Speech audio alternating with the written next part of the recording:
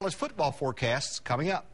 Nice weather to make a movie as well. And not just one, but two Hollywood movies are being filmed right now in Green Country.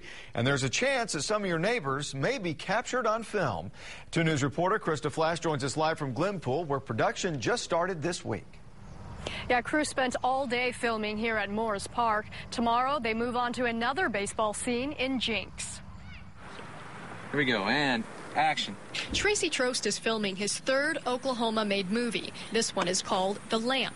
It's the story of a married couple who struggles with the death of their only child. One day, their neighbor, played by L. Scott Caldwell, um, gives them uh, this old oil lamp. And uh, on the lamp, there's words that say, just believe. Of course, when Lisa rubs the lamp, not a genie appears, but a messenger. A messenger played by Lou Gossett Jr.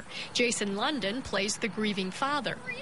It's great to kind of get to come back and be with the kids on the baseball field, which was my upbringing in Oklahoma so much. So I feel like I'm feel like I'm coming home, you know. Much of the cast already calls Tulsa home. I'm just an extra. I am somebody who just stands out there and holds a mitt. To her parents, 11-year-old Andrea Pelez is more than just a number on the field. For her, this is just like a it's like a dream, dream a come true for her. Oh, there we go. More opportunities could be coming along for local actors. Trost expects to see a lot more movie making in Oklahoma.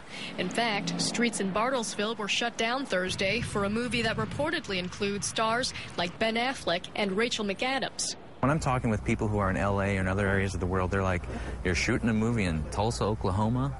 You know, and they even throw a little accent in there. The thing is, the talent here, the equipment, the people, uh, you can do anything you want to do in Tulsa. Tulsa's low-key profile does have its advantages, according to actor Muse Watson. It's a lot more relaxed. Um, the egos are a little smaller, which is great. Celebrity sightings could become just as commonplace as Hollywood. If you think you saw Lou Gossett Jr., you did. So make sure that camera is ready to roll. And cut. Wow. We're cut. Can't get much better than that. Lou Gossett Jr. is expected in town next week. The movie will have a limited release in theaters this spring and be available on DVD. Live in Glenpool, Krista Flash, 2 News works for you.